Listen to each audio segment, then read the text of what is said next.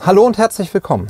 Heute machen wir mal wieder was ganz Neues, was auch für mich ungewohnt ist. Ihr werdet das gleich an dem Setting, in dem wir hier sitzen, schon erkennen.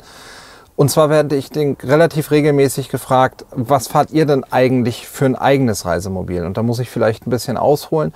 Wir haben ja schon immer eine Mietstation mit dabei gehabt, auch als wir noch mit meinen Eltern unterwegs gewesen sind. Und wir haben eigentlich schon immer versucht, möglichst viele verschiedene Fahrzeuge zu fahren und zu gucken, was sind die, damit man einfach weiß, was sind die Vor- oder Nachteile der einzelnen Konzepte. War ich eine Woche mit einem Auto unterwegs, kann ich hinterher sehr viel klarer sagen, ähm, was finde ich gut, was finde ich nicht so gut und damit ist die Beratung für euch dann tatsächlich auch einfach, einfach besser, die wir euch bieten können. Und an genau dem Punkt stehen wir auch dieses Jahr wieder. Was fahren wir eigentlich nächstes Jahr? Jetzt hat sich meine Familiensituation inzwischen über die letzten Jahre geändert. Die ersten Jahre war es noch relativ egal, wo wir meine Kinder hingelegt haben, weil die einfach noch klein genug waren und irgendwo im Kinderbett, Reisebett oder zwischen uns geschlafen haben. Inzwischen sind die beiden aber sechs und acht und damit einfach ernstzunehmende Schlafplätze, die man braucht. Äh, und das macht die Auswahl für uns als Familie auf dem deutschen Markt und vor allem bei den Marken, die man so zur Verfügung hat, einfach schon relativ klein. Für uns war von Anfang an klar, ein großes Reisemobil, also irgendwie ein Alkoven, 7,50 Meter, großes Bett hinten, Etagenbetten hinten, mag, oder Alkoven vorne und Etagenbetten hinten, mag im Alltagsnutzen äh, oder im, im Nutzen vor Ort viele Vorteile haben, weil man einfach mehr Platz hat.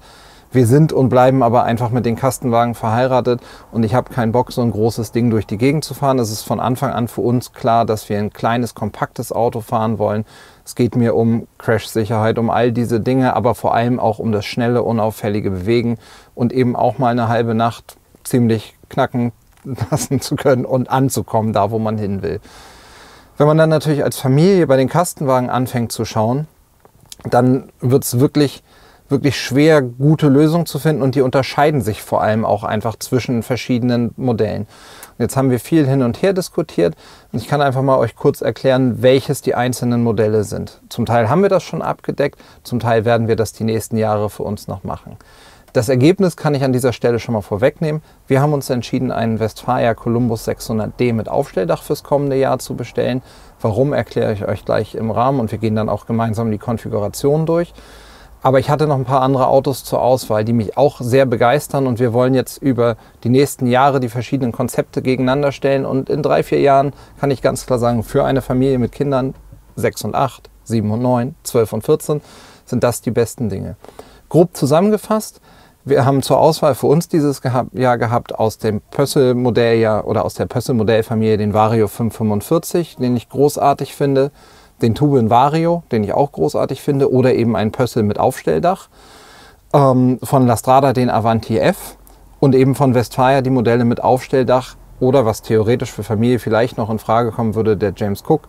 Aber der kommt zum einen erst etwas später und ist dann vielleicht auch als Familie eine Nummer zu viel für uns.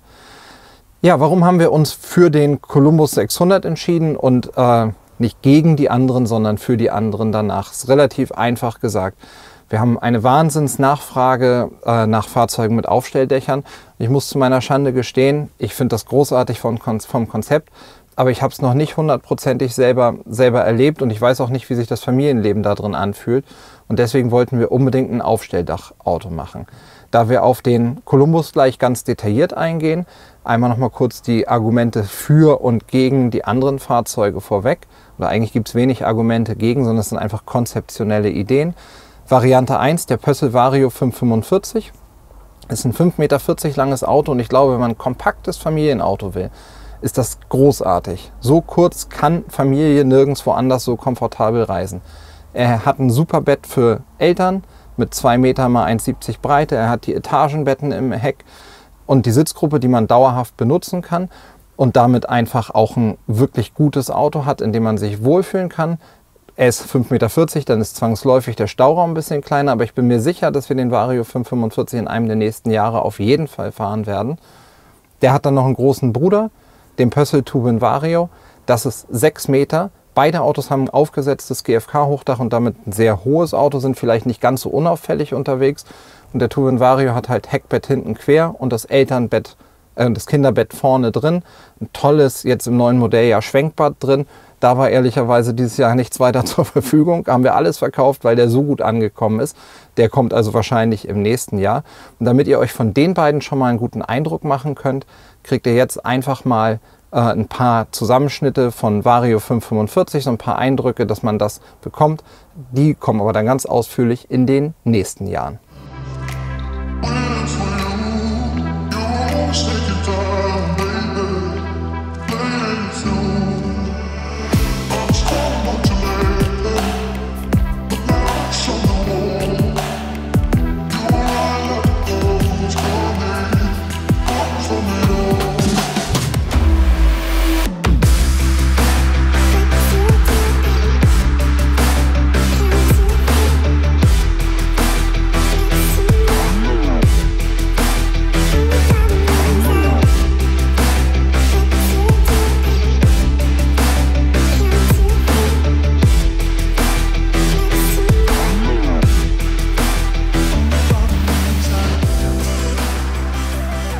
Das sind die Eindrücke zu Pössl Vario 545 und Tuben Vario gewesen. Vom Vario 545 ändert sich jetzt ja zum neuen Modell ja relativ viel, deswegen haben wir noch keinen Film dazu. Der kommt in Kürze. Wir werden jetzt diesen Herbst noch den ersten bekommen und den stellen wir euch dann natürlich auch ganz ausführlich vor. Also an dieser Stelle, wer sich dafür interessiert, einfach den Kanal abonnieren. Dann kriegt ihr auch eine Erinnerung, wenn es soweit ist. Und von den Fahrzeugen, damit wir gleich das Paket einmal abrunden, denkt dran, uns auch bei Instagram zu folgen. Da kommen auch immer wieder Bilder, kurze Videosequenzen, dass man Eindruck davon bekommt, was alles möglich ist. Ja, von Lastrada wäre der Avanti F das passende Gegenstück zur Familie. Der ist 6,36 Meter, also damit etwas länger, hat ein sehr, sehr großes Doppelbett hinten und ist der einzige, der von außen nicht zu erkennen ist, ob er ein Familienfahrzeug ist. Das heißt, er hat von außen die extra hohe, extra lange, aber ausschließlich Blechkarosserie, also den H3 L4 Kastenwagen von Fiat. Den haben wir letztes Jahr gehabt. Der ist toll als Familie, der ist vor allem vom Schlafkomfort toll. Ähm, so ein bisschen störend an einigen Stellen ist, dass man, wenn das Bett vorne gebaut ist, in der Sitzgruppe nicht mehr aufrecht sitzen konnte. Aber damit haben wir uns super gut arrangieren können. Und vom Möbelbau ist das sicherlich ein Fahrzeug, was äh, das obere Ende von dem beschreibt, was in der Kastenwagenwelt möglich ist. Da haben wir gerade ein kurzes Video vom Avanti F gemacht. Auch da kriegt ihr jetzt nochmal fünf kurze Eindrücke, damit ihr seht, wie so ein Avanti F von innen aussieht.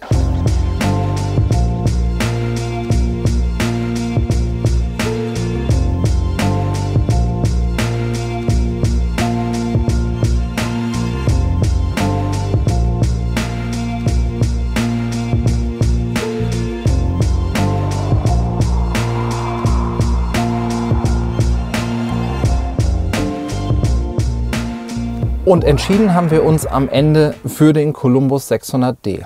Und ich habe mir hier schon mal den Konfigurator von Westfalia auf der Westfalia Website aufgemacht. Ähm, und da gucken wir jetzt mal. Bei Westfalia kann ich ja bei 5,40 Meter und 6 Meter Autos ein Aufstelldach dazu bestellen. Ähm, und da muss man ganz klar sagen, ich bin nicht zierlich. Die Kinder sind groß und actiongeladen. Für uns ist ganz klar, als Familienauto sind 6 Meter die Wahl, die wir für uns brauchen. Das hat dann auch den Vorteil, dass wir eine sehr breite Sitzbank haben und all solche Dinge. Ich habe auch viele Familien, die mit 5,40 Meter fahren bei uns im Kundenkreis. Ähm, da sind wir einfach nicht zierlich genug für und brauchen ein bisschen mehr Raum. Wenn man sich dann für Columbus 6 Meter entscheidet, stehen Columbus 600 und 601 zur Auswahl. Die unterscheiden sich in der Breite der Sitzbank und in der Auswahl von Kühlbox und Kühlschrank. Und da ist ganz klar so, dass wir unbedingt die Kühlbox haben wollten.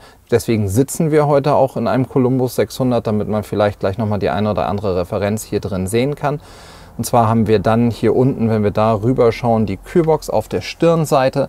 Ähm, das finde ich einfach so super cool, dass man die von innen und von außen beladen kann, die Einkäufe gleich reinpacken kann. Und das, was für mich am spannendsten ist, ist, reicht das für uns wirklich als Familie? Wir sind schon mal Columbus 641 gefahren, als die Kinder noch nicht da waren da war es toll, äh, 640 gefahren, da war es toll, aber jetzt mit den Kindern wird es spannend.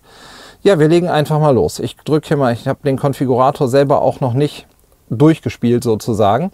Das heißt, wir gehen jetzt einfach mal in die Konfiguration. Ich habe einen Columbus 600D, ähm, weil er einfach von der Ausstattung neu ist. Wir werden ihn nächstes Jahr auf jeden Fall mit 178 PS fahren wollen, weil ich auch die Automatik haben will. Die Automatik mit dem großen Motor einfach dann ja nochmal deutlich mehr Drehmoment freigibt. Und das interessiert mich einfach, wie das langfristig ist.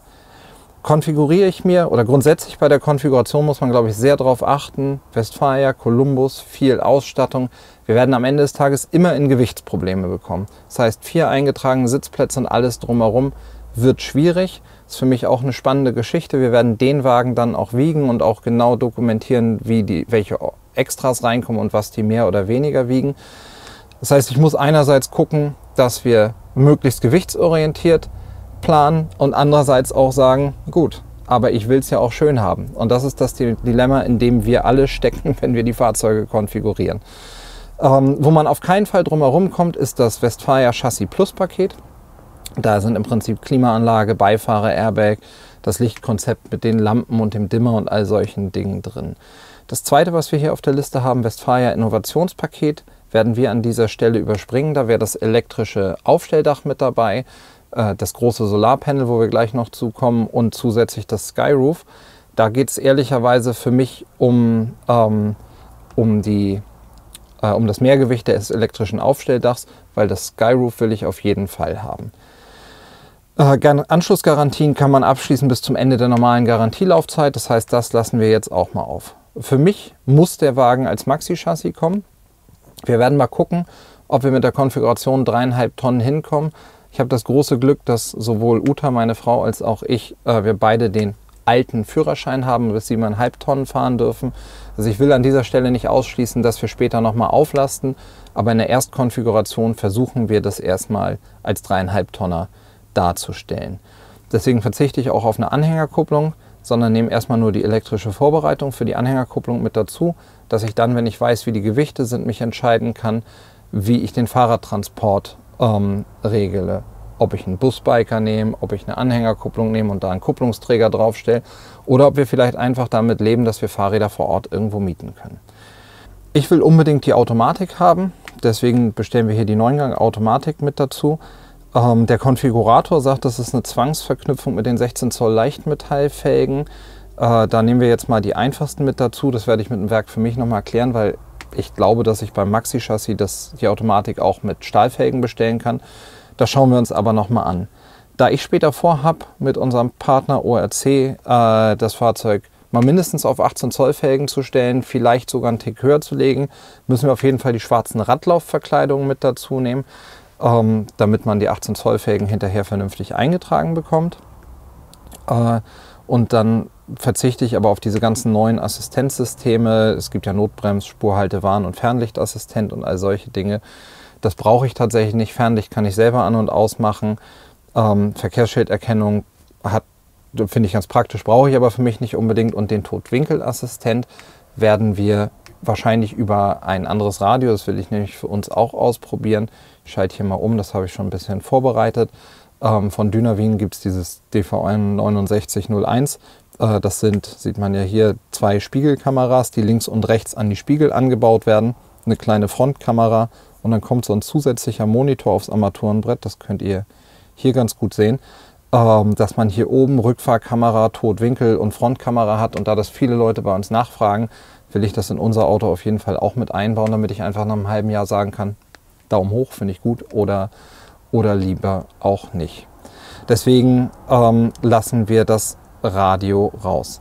Ja, das Thema große Dachfenster fällt leider komplett weg, weil wir das Aufstelldach drauf haben. Das ist tatsächlich auch der Grund, warum wir uns in diesem Jahr für ein Aufstelldach bei Westfalia entschieden haben, weil ich da das Glück habe, dass ich mit Aufstelldach trotzdem das Skyroof haben kann.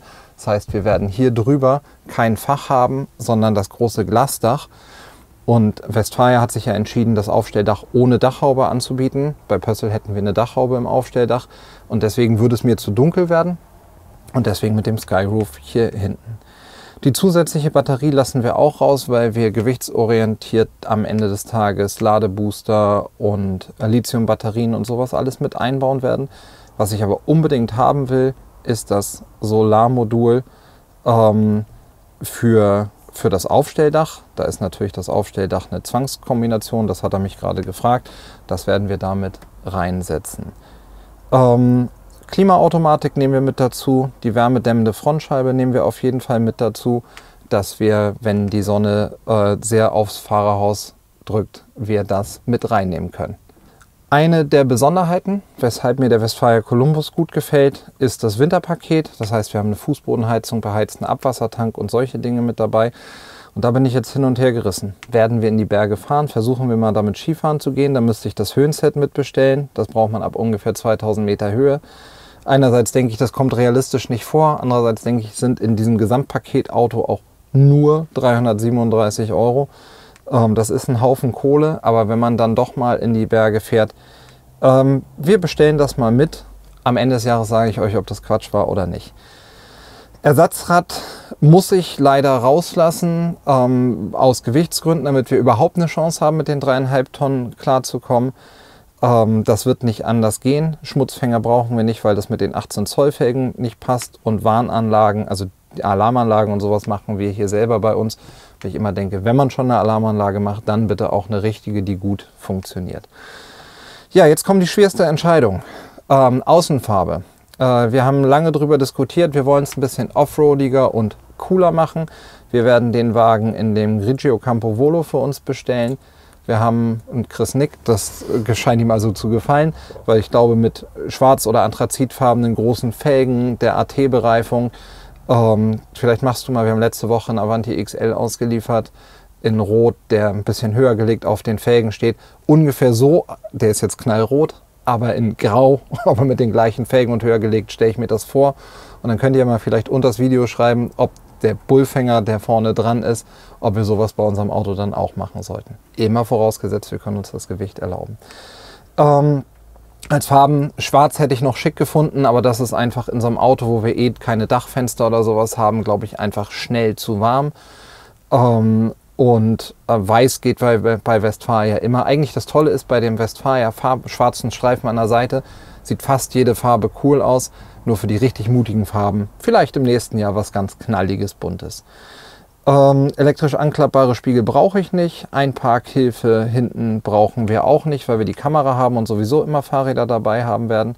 Dann nehmen wir das Lenkrad mit Bedienelementen auf jeden Fall dazu. Radio machen wir selber. Da nehmen wir nämlich das, äh, die, das wahrscheinlich das große Dynavin-Radio, aber auf jeden Fall ein großes Radio mit rein. Deswegen verzichten wir auch ab Werk auf diese ganzen Radiokonfigurationen. Lautsprecher im Fahrgastraum ähm, brauchen wir nicht, weil die bei Westfalia hinten im Heckbettbereich sind und wir da lieber mit einer Bluetooth-Box arbeiten. Ganz wichtig, Kühlergrill schwarz glänzend, damit das vom Farbkonzept alles passt. Die Scheinwerfer mit dem schwarzen Rahmen sind sowieso immer beim Columbus Serie. LED-Tagfahrlicht, klar, Sitzheizung, wenn wir schon ein Höhenset haben und die Berge wollen, auf jeden Fall eine Sitzheizung. In der Mitte unbedingt den Cup-Holder. Das sind so die Sachen, die wir da brauchen. Nächster Posten hier heißt Verstauen und Schutzsysteme. Trennwand oben ist die Abtrennung zum Heckstauraum. Die will ich unbedingt mit dabei haben. Beim Columbus mit der Kühlbox den Einhängekorb. Da ist bei uns der Plan, noch einen zweiten separat dazu zu bestellen, damit man die Kühlbox schön aufteilen kann. Eine Markise wird unser Fahrzeug auf jeden Fall bekommen. Damit wir aber die Zulassung mit den dreieinhalb Tonnen geregelt bekommen, werden wir die Markise nachträglich bei uns bauen. Und das ist ehrlicherweise einfach ein ganz schmaler Grad. Einmal muss das Auto natürlich werkseitig die Gewichtsansprüche erfüllen, damit wir ihn als dreieinhalb Tonner mit vier Sitzplätzen und allen rechtlichen Anforderungen haben können. Da ist aber für jeden Sitzplatz 75 Kilo Person eingerechnet. Jetzt sind meine Kinder deutlich leichter als ich ähm, und sicher noch sehr weit weg von 75 Kilo. Das heißt, wir werden das Auto nachher für uns wiegen und dann im Nachgang entscheiden, ob wir auflasten oder nicht. Wenn wir uns mit dem Innendekor vom Columbus 600 befassen, das, worauf wir hier sitzen könnten, das ist der Polsterstoff Roseland. Das finde ich persönlich schon schick. Aber wir waren ja vor ein paar Wochen bei Westfalia im Werk und da haben wir einen Amundsen 600e gefilmt. Der hatte Kunstleder mit drin. Und das hat es mir irgendwie ganz gut angetan. Und jetzt habe ich noch zwei so kleine Chaoskröten, ähm, die auch das ein oder andere Mal, mal gerne sich draufsetzen, liegen lassen, umkippen. Und da habe ich gedacht, vielleicht ist Kunstleder für uns als Familienlösung das Richtige. Deswegen haben wir entschieden, dass wir für das nächste Jahr Kunstleder mit dazu nehmen. Ähm, und zwar werden wir das, also grundsätzlich sind das die Wahlmöglichkeiten, die ich habe. Wir haben den Polsterstoff Roseland, den ihr hier seht, den Serienstoff, da macht Chris euch jetzt einfach auch nochmal ein Bild rein. Der ist hier außen hell und in der Mitte auch gleichbleibend dunkel. Dann gibt es Aufpreis 1290 Euro den ähm, das Kunstleder. Das gibt es in den drei Farben, so ein beige, braun, ich glaube Aubergine, wie heißt das? Das heißt Gibson, aber das ist so ein Aubergine-Farbton und ein echtes Schwarz. Jetzt ist für mich so gewesen, dass ich denke, nur schwarz finde ich dann auch irgendwie langweilig, aber das hat so eine ganz, ja, ganz angenehm. Mir ist ehrlicherweise, als wir in dem Auto waren, auf den ersten Blick nicht mal aufgefallen, dass es Kunstleder ist. Vollleder gäbe es natürlich auch, nur damit ihr mal eine Idee bekommt, was die Farb, ups, die Farbwahlmöglichkeiten sind. Das ist das, was ihr an normalen Ledervarianten haben könnt. Also wer da nichts findet, aber dem ist dann auch nicht mehr zu helfen in Sachen Geschmacksfragen. Und dann gibt es noch, wenn man Leder nimmt, könnte man das auch mit so einem, das muss jetzt anders heißen, äh, das darf nicht mehr Alcantara heißen, hat einen neuen Namen, ist aber von den Eigenschaften so wie Alcantara, also so ein Mikrofaser. Und das gibt es, ich meine, ein Regenbogen hat weniger Farben, glaube ich, ähm, in allen Varianten. Wir haben jetzt Kunstleder, wir haben uns auch entschieden, ein komplett Kunstleder zu machen. Wenn wir Leder oder Kunstleder bestellen, gibt es Westfalia-seitig so ein Konfigurationszettelchen, was wir dann gemeinsam ausfüllen mit euch, ähm, wo man sich eben aussuchen kann, welche Farbe soll das, was jetzt hier in diesem gemusterten Stoff ist, bekommen, welche Farbe soll die Wangen bekommen. Wir machen, wie gesagt, alles schwarz, haben uns dann aber entschieden, dass wir hier in dem, was jetzt gemustert ist, in der Mitte so eine Rautensteppung mit reinmachen. Und äh, da kann man sich bei Westfalia zwischen allen Farben entscheiden. Und wir werden die Farbe der Rautensteppung, dem Campo Volo Grau von außen anpassen und auch hier draußen auf den schwarzen Flächen eine Kontrastnaht in dem Grau machen, dass wir so ein bisschen das Farbkonzept Schwarz-Grau von außen wieder aufnehmen. Und weil es ja für uns auch ein Werbeträger ist, nehmen wir natürlich die Westfalia Windrose mit dazu. Dann kommt hier in die Kopfstütze in dem gleichen Nähfaden wir haben das, ich glaube, die Farbe hieß Iris. Das heißt, um eine Idee zu bekommen, das kommt in Videos ja eh immer nicht ganz so rüber, so ein Lichtgrau in Hell. Ähm, das ist das, was wir nehmen als Kontrast dazu. Dann hat man nicht eine weiße Naht, was oft bei schwarzem Leder ist. Und ich glaube, dass wir mit der, mit der Rautensteppung und den Windrosen da ein ganz schickes Gesamtkonzept haben. Ähm, wenn wir auf Skyroof gehen, gefällt natürlich dieses Fach hier oben weg. Äh, wir haben dann das Aufstelldach oben drauf als Betten, deswegen brauchen wir das Zusatzbett unten nicht. Und dann kommt hier ein schöner Kleiderschrank, dass wir zumindest die Jacken dort weghängen können. Die Spiegeltür ist in meinen Augen nichts für uns als Familie mit Kindern, die überall dran touchen. Da habe ich keine Lust zu hinterher zu putzen, deswegen bleiben wir bei der normalen Nasszellentür. Außendusche nehmen wir auf jeden Fall mit dazu, damit einmal von draußen die Haare ausgespült werden können und der Schwenktisch das heißt hier, das ist der gleiche Tisch wie hier, mit dem breiten Ausschwenkteil, den nehmen wir auch mit dazu. Das Aufstelldach ist klar, das war, haben wir vorhin schon mit reingenommen. Das Schöne beim Westfalia Aufstelldach ist, dass es relativ hoch ist und wir dadurch Bettwäsche wahrscheinlich oben drauf liegen lassen können. Elektrische Bedienung brauche ich nicht. Was wir aber auf jeden Fall mit dazu nehmen, wenn wir schon das Höhenset und das Winterpaket haben, die Isolierung für den Faltenbalg des Aufstelldachs, dass man auch im Winter damit mal fahren kann. Da bin ich super gespannt, wie das werden wird. Und dann ganz klar das Skyview ähm, Sonnendach oben mit dazu. Das heißt hier oben Glasdach. Das ist anders als beim Pössl Summit Prime nicht zu öffnen, dafür aber ein echtes Glasdach. Wo da die Vor- und Nachteile sind, müssen wir mal im Laufe der Zeit gucken. Wenn man das Skyview mitnimmt, dann fällt der Platz, wo die Radioantenne eigentlich wäre, weg. Dann deswegen müssen wir da an der Seite die DAB-Antenne nehmen und für uns auch ganz klar die breite Sitzbank mit dazu. So sieht unser Westfalia Columbus 600D aus, mit dem wir nächstes Jahr Urlaub machen werden.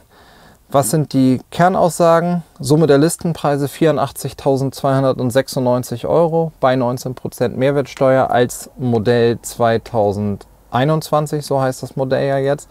Das ist relativ viel Geld. Dafür haben wir aber auch eine Fußbodenheizung, Aufstelldach, vier Sitzplätze, doppelt Isofix, viel Stauraum, Skyroof, großen Motor, Automatik, ganz viele tolle Sachen mit dabei. Ähm, die Zuladung ist jetzt mit einer Masse im fahrbereiten Zustand hier im Konfigurator von 3215 Kilo angegeben. Das heißt, wenn ich richtig rechne zu dreieinhalb Tonnen, sind das noch 285 Kilo. Jetzt bin ich leider nicht der Normdeutsche mit 75 Kilo, sondern na, grob geschätzt eineinhalb Normdeutsche. Ähm, dafür sind die Kinder aber deutlich leichter. Wir werden das Auto am Ende verwiegen und dann entscheiden, ob wir mit dreieinhalb Tonnen klarkommen, vielleicht mit ein bisschen Spielraum da arbeiten müssen oder ob wir auf 4,25 Tonnen auflasten. Insgesamt glaube ich, ist das eine runde Sache. Mich würde interessieren, ob ihr Interesse an diesem Projekt habt und ob wir das dann auch übers Jahr begleiten sollen mit den Dingen, die wir einbauen und vielleicht auch mal dem einen oder anderen Praxistest und ein bisschen durch die Gegend fahren und gucken. Ähm, oder ob ihr sagt, nee, lass das Auto mal die Saison durchfahren und am Ende des Jahres dürfen wir gerne nochmal ein Fazit ziehen. Es freut mich, dass ihr dran geblieben seid. Wenn ihr sagt, das oder das würde ich in der Konfiguration komplett anders machen, klar, einige Dinge sind einfach Geschmack. Da überlasst es ruhig einfach uns. Da wäre es nett, wenn ihr einfach den Geschmack akzeptiert, wie er ist. Aber bei technischen Dingen, Anregungen, wäre ich gespannt, ob ihr noch was habt, wo ihr sagt, das würde ich auf jeden Fall anders machen. Dann schreibt das einfach unten in die Kommentare. Ja, ich freue mich, dass ihr dran geblieben seid. Ähm, wünsche euch viel Spaß bei den weiteren Videos. Bleibt gespannt. Es kommen noch bestimmt viele Familiengrundrisse, die wir im Laufe des kommenden Winters vorstellen. Ja, und da werden wir uns Stück für Stück durchhangeln. Bis bald im nächsten Video.